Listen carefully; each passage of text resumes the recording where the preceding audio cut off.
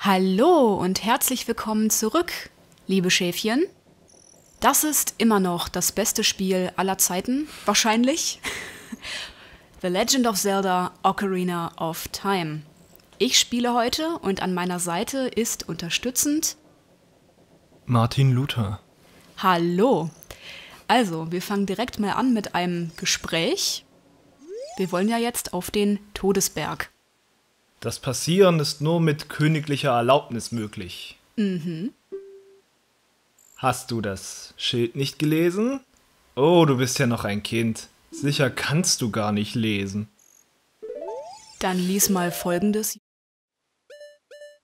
Ich bin nämlich auf Befehl von Prinzessin Zelda höchstpersönlich hier. Oh, das scheint. In der Tat, es ist Zeldas Handschrift. Lass mal sehen. Hm, na gut. Dies ist Link. Er hat den Auftrag, Hyrule vor dem Untergang zu bewahren. Prinzessin Zelda. Ha! Was ist das denn für ein seltsames Vorhaben? Wie dem auch sei, du kannst passieren, Zwergenheld. Was auch immer. Dem fehlt echt der Respekt.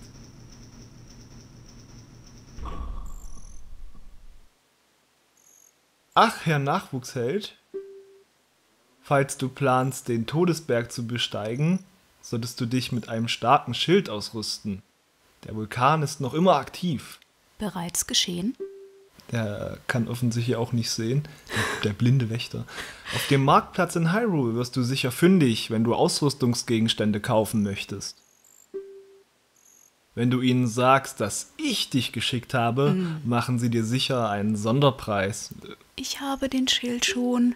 Besonders teuer wahrscheinlich. Denkst du aber, deine Ausrüstung würde genügen, dann laufe ruhig weiter. Danke. Ah, immer noch nicht. Ah, Übrigens, kann ich dich um einen Gefallen bitten? Du musst es nicht tun, aber immerhin habe ich dir eben einen guten Tipp gegeben.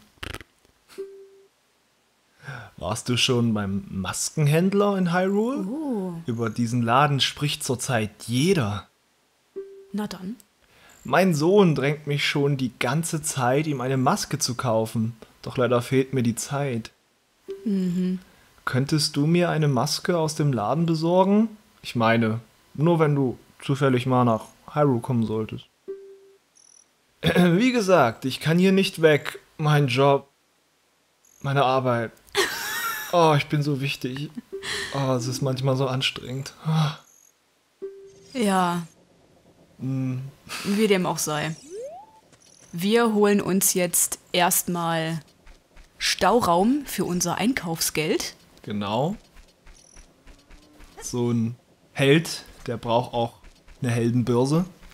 Muss ja das ganze Loot reinpassen. Auf jeden Fall. Das ganze Klimperlut. So, hier waren wir, glaube ich, noch nicht drin. Was ist denn hier?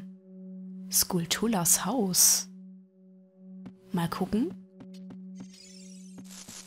Oh, Ah! oh, Tötet es mit Feuer. oh. Was ist denn mit dem passiert? Äh, Eine Wehrskulptur. äh, der scheint mir nichts zu tun.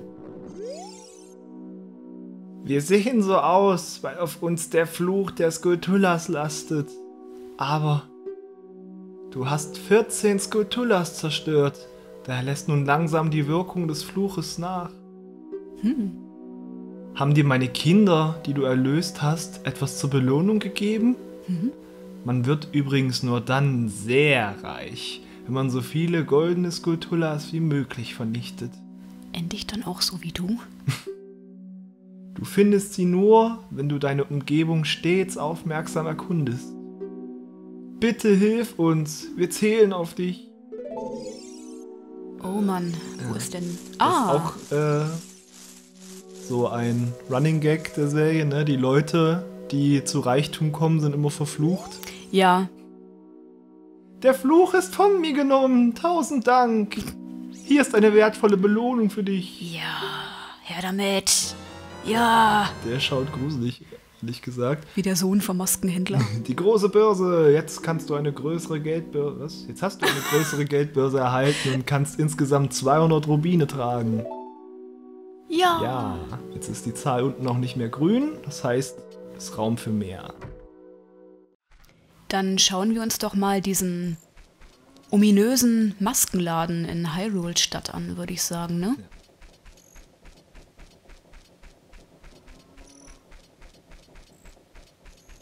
So, in dieser Folge werden wir noch ein paar Mal viele Laufwege absolvieren, Mhm. bevor es endlich auf den Todesberg geht. Das werde ich aber ein bisschen zusammenschneiden. So, da sind wir. Oh nein. Wie ihr sehen könnt, ist das, äh, ist das Tor oben. Aber wir haben ja Gwendolins Segen, also ab dafür.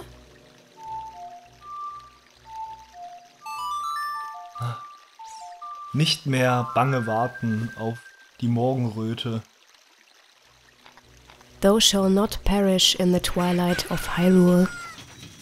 Oh, Ja, ich bin ein Nerd. wer, hätte es gedacht? Bin zutiefst verwundert.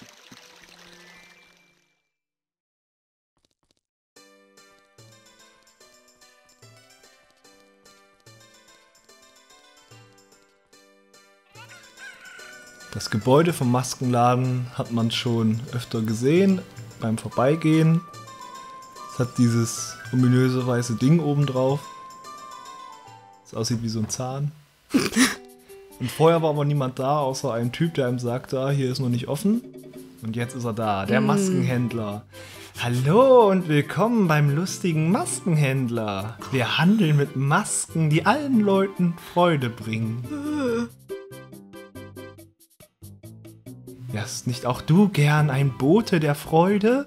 Pass auf, ich leihe dir eine Maske, du verkaufst sie und gibst mir dann das Geld. Willst du wissen, wie es funktioniert? Lies das Schild zu deiner Linken. Übrigens, wenn du alle Masken verkauft hast, wirst auch du glücklicher sein. Äh, Vertrau mir. nein.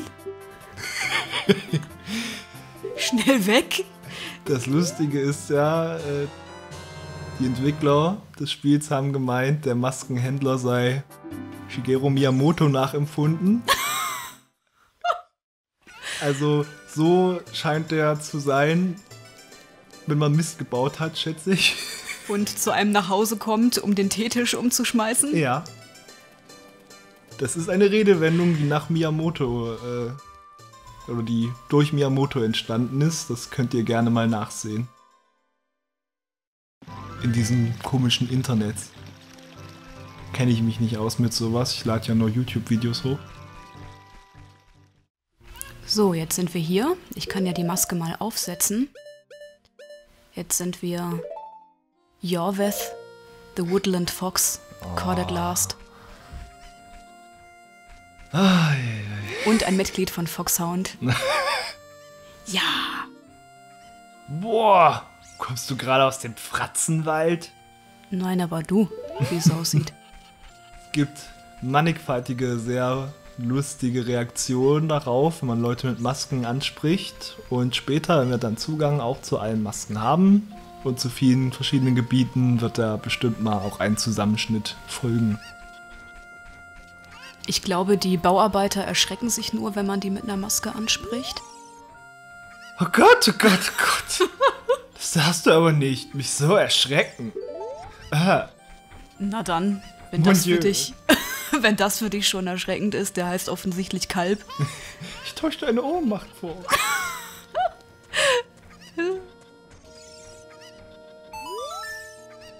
ha! Denkst du wirklich, dass ich dich nicht erkenne? Hey! Ist das nicht eine Fuchsmaske? So etwas ist doch zurzeit sehr angesagt. Mein Sohn ist ganz verrückt danach. Wie wäre es, wenn... Würdest du sie mir verkaufen? Er hat uns ja nur losgeschickt, also nein. Schade, doch ich gebe nicht auf. Ich habe sehr viel Geduld, sonst würde ich hier auch nicht den ganzen Tag herumstehen. Und um Oh. seinen Standpunkt zu bekräftigen, macht er das Tor einfach wieder zu, der Sack. Ich glaube, das nennt man Erpressung. Mhm, wir sollten mal Zelda sagen, was hier abgeht. Aber wir können ihr den Brief auch nicht nochmal zeigen. Die Maske belegt ja jetzt dieses Feld. Äh, das war ein Versehen. Ich schwöre es. Du kannst doch nicht wie Butters Leuten in Schritt schießen, Mensch. Würdest du sie mir verkaufen? Na gut. Mein Sohn wird sich sehr über die Maske freuen. Vielen Dank, mein Freund. Ich bin nicht dein Freund, Kumpel. Bin ich dein Kumpel, Alter. Ich bin nicht dein Alter, mein Freund. Der Weg ist wieder frei. Du hast die Maske, für die du 10 Rubine bezahlen musst, für 15 Rubine weiterverkauft. Du hast einen Gewinn erwirtschaftet. Geh nun zum Maskenhändler zurück und gib ihm seine 10 Rubine. Ja, so funktioniert das System. Nehmen wir das mal auf uns. Ja, man leiht die, also muss noch nichts bezahlen, verkauft die weiter und dann hat man sie ja nicht mehr, kann sie nicht zurückgeben und muss halt dem Maskenhändler den Preis geben, für, die, für den er sie verkaufen würde in seinem Laden. Und wenn du gut bist, oder wenn es gut läuft, besser gesagt, man hat ja nicht so viel Einfluss drauf, kriegt man mehr Rubine raus. Wenn nicht, ne, das werden wir noch sehen. Hoffentlich nicht. Der Ich weiß nicht. extrem schlecht ist, wenn du äh, nicht genug Geld hast, um es ihm zu geben, dann äh, wird der so Majora's Mask Niveau gruselig. Ich weiß nicht, ob ich wissen will, wie das dann aussieht. Du weißt es doch. Ja, aber ich find's deswegen nicht minder gruselig. Ah, hast verdrängt hier. Ich bin verdrängte Erinnerung, Emily.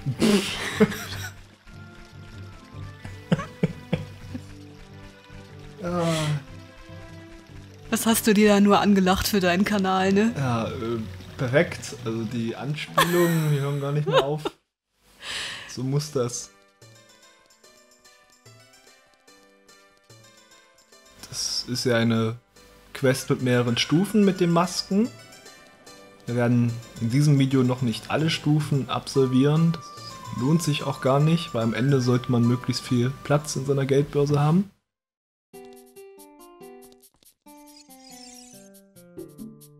Hast sie verkauft? Fantastisch. Dann zahl mir nun meine 10 Rubine für die Fuchsmaske.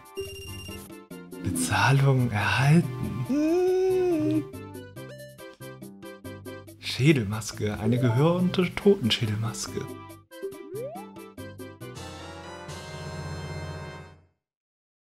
Die Beschreibung könnte einen jetzt ein bisschen irreführen, wer diese Maske eigentlich haben will. Ja. Könnte denken, der Junge auf dem Friedhof möchte sich fühlen wie ein böses Monster, aber es geht um jemand anderen. Und man kann noch an einem bestimmten Ort ganz andere Dinge mit der Maske anstellen. Das sehen wir gleich. Dann jetzt auf in die verlorenen Wälder, ne? Ja.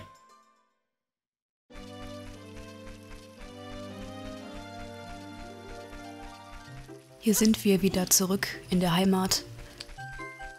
Die Musik ist so beschwingt wie eh und je, aber es sieht schon sehr trostlos aus jetzt, wo der Dekobaum gestorben ist. So eine diesige Luft. Hm. So ein bisschen sumpfig irgendwie, ne?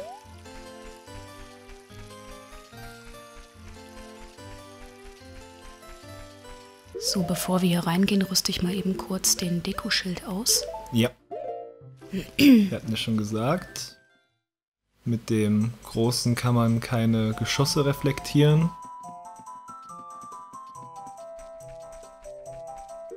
Und ich sollte auch die Maske auf C legen. Tendenziell, ja. Wir wollen nun zu einer ganz bestimmten Lichtung. Mhm. Woher man wissen soll, dass es die gibt, ich weiß es nicht, aber es gibt sie. Lösungsbücher. Genau. Hier kümmern wir uns jetzt erstmal um den netten Herrn.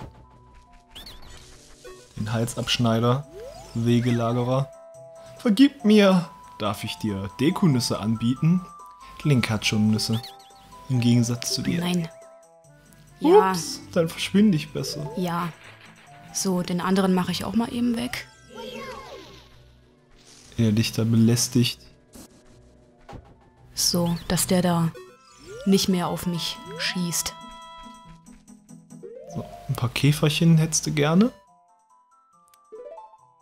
Wir alle wissen, was zu tun ist.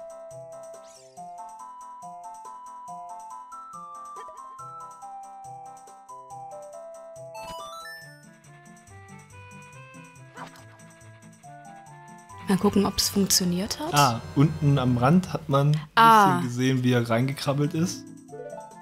Ein Stück weggehen. Gleich kommt die Ninja-Skulptur rausgesprungen. Äh, Oder auch nicht. nee. Manchmal Manchmal Hat so gräbt sich keiner ein, ja. Das kann passieren. Das hatten wir beim Übungsdurchgang vorhin auch schon mal.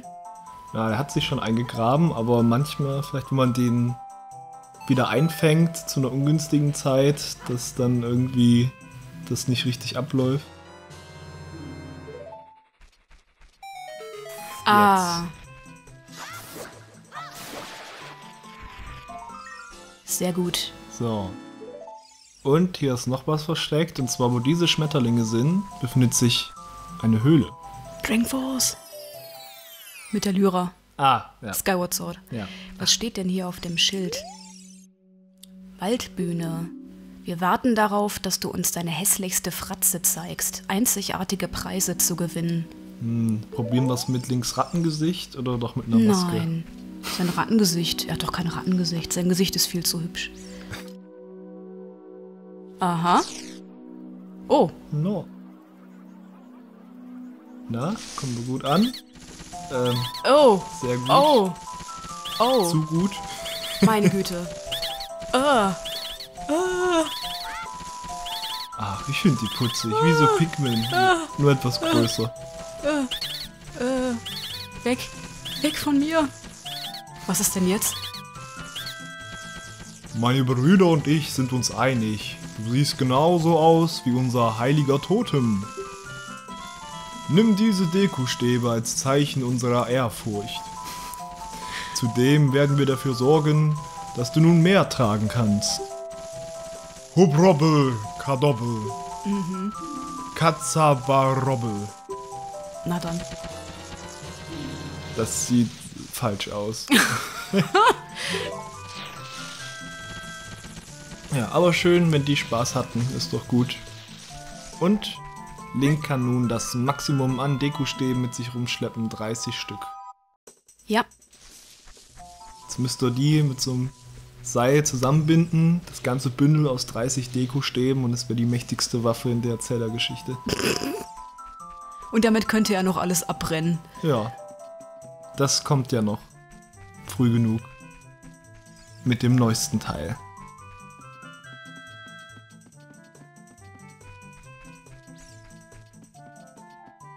Schon seltsam, wenn man bedenkt, bis das Let's Play durchgelaufen ist, ist höchstwahrscheinlich dann Breath of the Wild schon erschienen.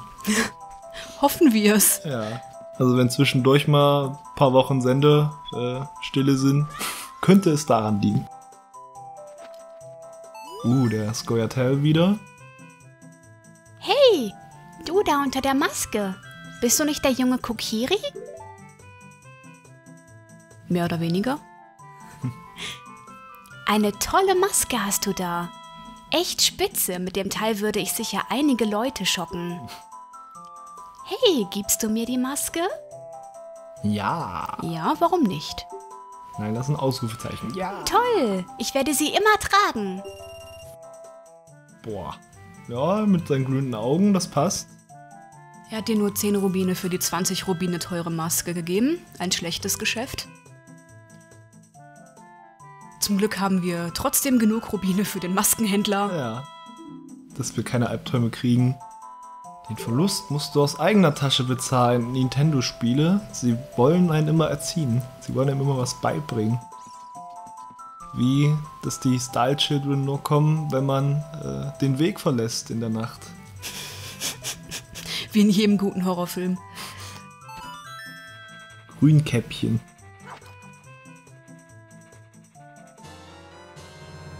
Mal sehen, ob es jetzt klappt. Jetzt buddeln sie sich rein. Ah. Kurz dachte ich, sie fällt jetzt runter.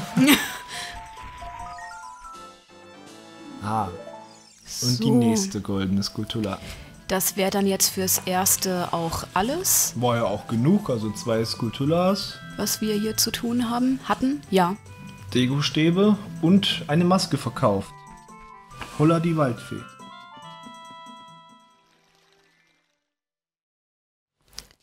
Dann holen wir uns mal die dritte Maske im Bunde. Kennen wir sogar schon.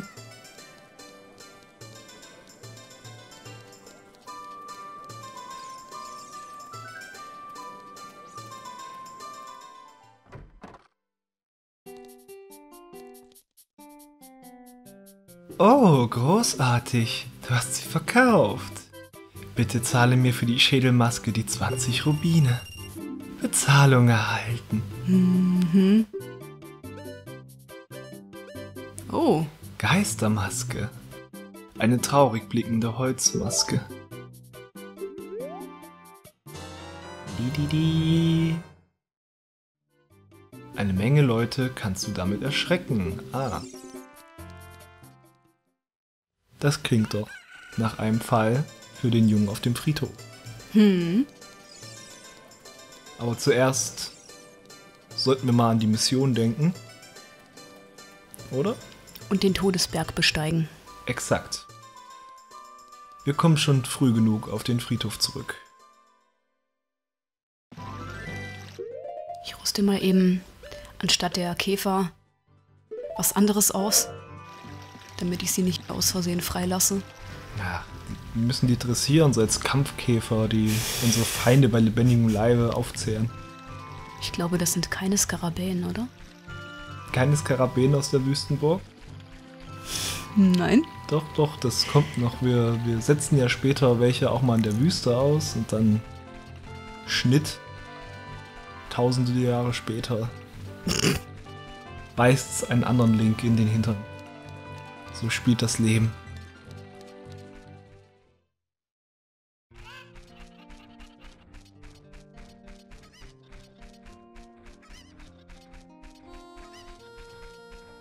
Die Hühner sind offensichtlich schon wieder ausgebüxt. Die arme, blöde Frau. Ungeschickt vielleicht eher. Aber ihr fällt hier eine sehr kluge Lösung ein später. Ja. Man kann ihr auch wieder helfen für ein bisschen Klimpergeld. Das ist aber unter der Würde eines Helden. Mhm, für seinen Sohn. Er trägt sie immer noch selbst.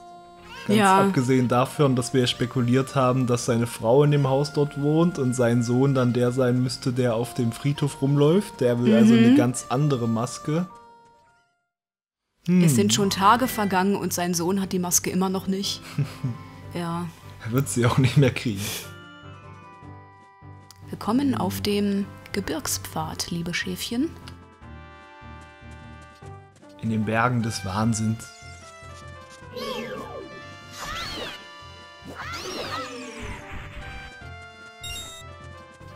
Das sind Tektites auf Englisch. Den deutschen Namen merke ich mir immer nicht. Was sagst du denn da? Arachno. Ah.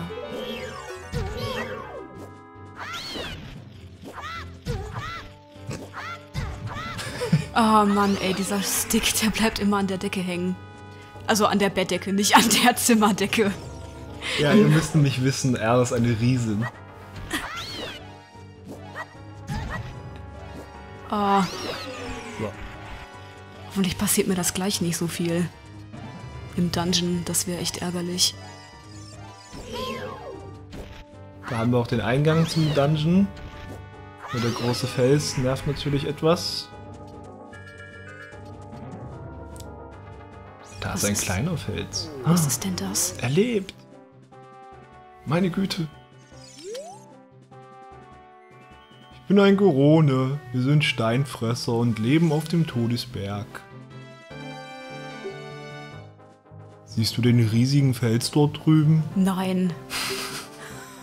Er versperrt den Eingang zu Dodongos Höhle. Die Höhle ist für uns Goronen sehr wichtig, denn dort lagert unsere Nahrung. Vor kurzem sind einige Dodongos in der Höhle aufgetaucht. Seither war die Höhle für uns ein äußerst gefährlicher Ort. Über dem Eingang der Höhle sah ich einen Gerudo in schwarzer Rüstung, der den Fels mit magischer Kraft vor den Eingang platzierte. Hm. Wenn du schon hier bist, solltest du auch Goronia besuchen. Die Stadt liegt weiter oben auf dem Berg. Es ist gar nicht mehr weit bis dorthin. Okay. Wer dieser Gerudo in schwarzer Rüstung wohl war? Sehr, sehr mysteriös.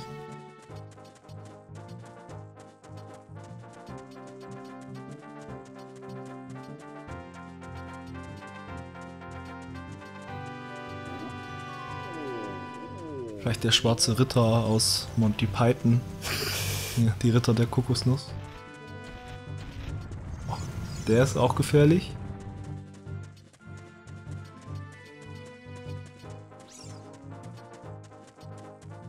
Und da ist der Eingang zur Stadt.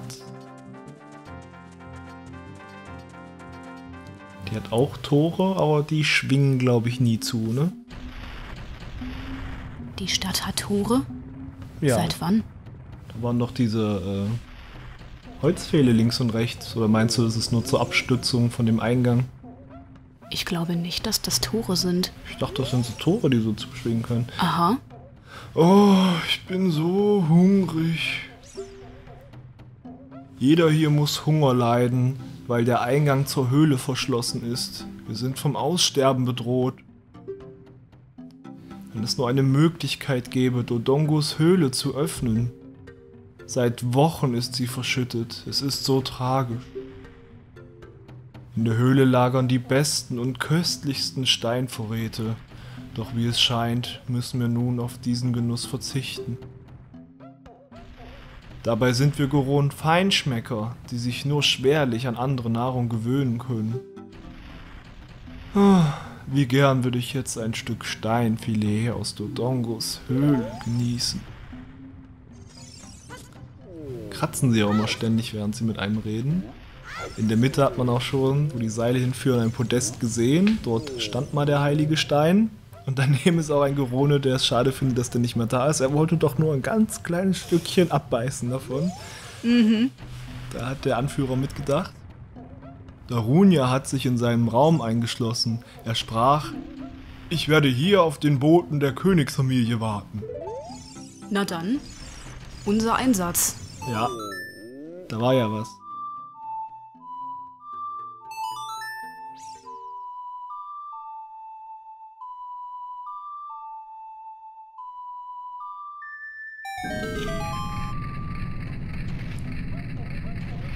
Nachdem wir schon Unsinn damit angestellt haben, endlich mal das Lied so benutzt, wie man es sollte. Ah, und das sieht er aus wie ein Anführer mit epischem Bart. Etwas größer. Was? Wer bist du? Äh, Als ich das Lied der Königsfamilie hörte, dachte ich, ein Abgesandter sei eingetroffen. Stattdessen sehe ich ein Kind. Hat Darunia, der Führer der Goronen, es wirklich verdient, so behandelt zu werden? nett. Ich kann es nicht glauben. Geh zurück ins Schloss und sag dem König, er solle mir einen richtigen Mann schicken. Ey, Link hat eine Fee, der ist ein richtiger Mann. Du fragst, warum ich so schlecht gelaunt bin? Ja. Dämonische Kreaturen sind in Dodongos Höhle eingedrungen. Die Donnerblumenernte war schlecht.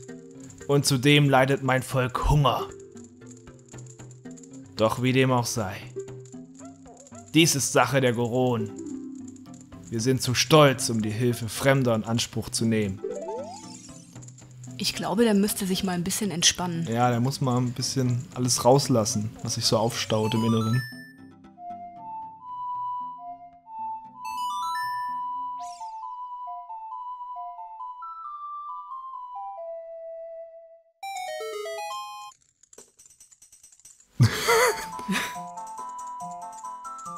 Navi tanzt mit. Ja.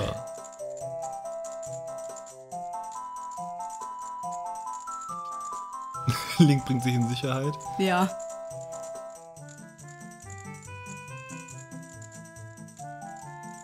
Oh. Wow. Das fetzt. Ja, ja, ja. Ein heißer Takt. Das fetzt! Lass uns tanzen! Yeah! Juhu! Mario lässt grüßen. Wow, tolle Melodie. Meine schlechte Laune ist verflogen. Ich konnte mich nicht mehr halten. Ich musste einfach tanzen. Wir haben's gemerkt. Ich bin Jimmy Junior. ich bin Darunia. Ich bin der Anführer der Goronen. Gibt es etwas, das ich für dich tun kann? Wie? Du suchst den heiligen Stein des Feuers. Der heilige Stein des Feuers, auch als Goronopal bekannt, ist das wertvollste Relikt meines Volkes. Ich kann ihn dir erst geben, wenn du meinem Volk beweist, dass du seiner würdig bist. Beweise dich, indem du die Kreaturen in Dodongos Höhle vertreibst. Bestehst du diese Prüfung, ist dir der Dank meines Volkes gewiss. Der Lohn für deine Mühen soll der heilige Stein sein. Nicht auch ein paar Orens. Wenn du mich schon engagierst Ja, als wir- Monsterjäger. Wenn wir hier einen Hexerkontrakt machen. Bevor du gehst, nimm dies an dich. Es ist ein Gastgeschenk der Goronen, ein Zeichen der Freundschaft. Trägst du es, kannst sogar du schwere Dinge wie Donnerblumen heben. Das Goronenarmband. Wir können Donnerblumen pflücken. Yay. Äh. So. Willst du nicht noch ein bisschen brandschatzen? Ach genau, Brandstiftung, ja. Schon mal ein Vorgeschmack auf die Hylian Heat?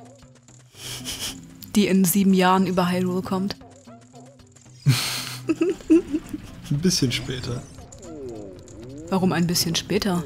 Ja, ich dachte eher an Breath of the Wild, nicht, Ja, ich weiß nicht an doch. Poster Boiling. Ich wollte es auf Ocarina of Time ziehen. So, was immer Link gerade genommen hat, sollte es vielleicht lassen.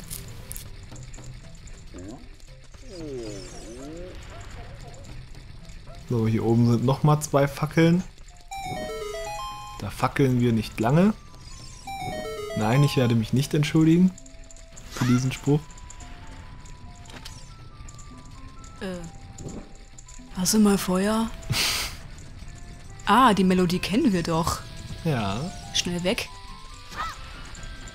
Der Gorone, der hier vor dem Durchgang steht, erzählt einem übrigens auch, dass die Goronen diese Melodie hier aus dem Wald sehr mögen. Das ist auch ein Hinweis auf das Rätsel. Genau. Wenn man durch diese Öffnung geht, kommt man bei dem Steinportal in den verlorenen Wäldern raus.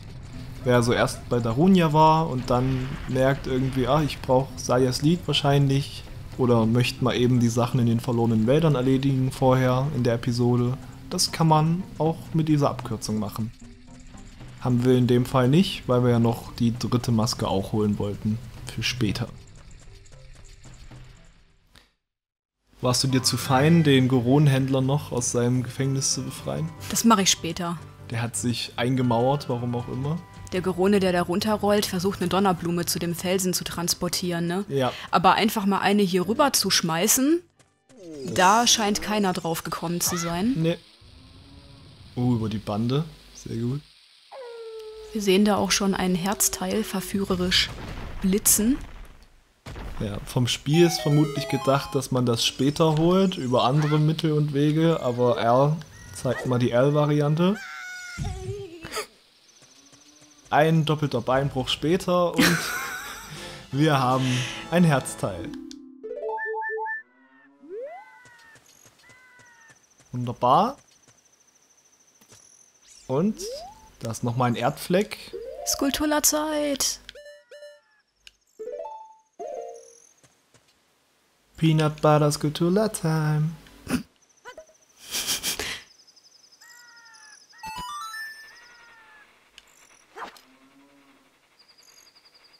So. Haben wir das auch?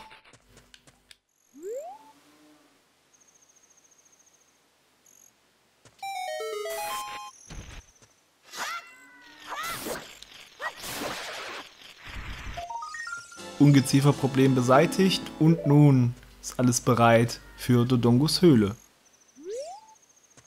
Was mag uns erwarten in diesen Tiefen? Wir werden es sehen. In der nächsten Folge. Seid gespannt. Es wartet ein schöner Dungeon auf euch, wie viele von euch wahrscheinlich schon wissen. Klein und fein und heiß. Feurig. Explosiv. Tödlich. Schlagworte.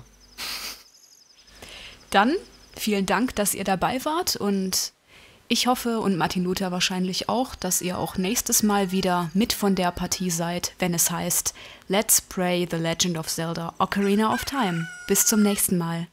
Gehabt euch wohl.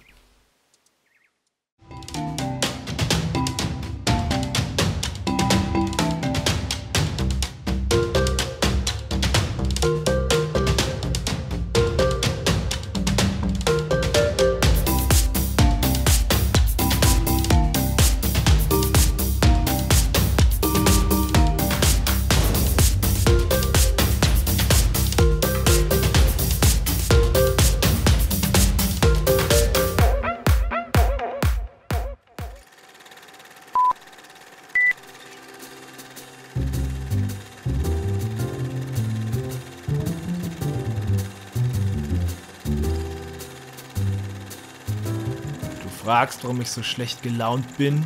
Ja. Dämonische Kreaturen sind in Dodongos Höhle eingedrungen. Die Donnerblumenernte war schlecht. Und zudem leidet mein Volk Hunger. Doch wie dem auch sei.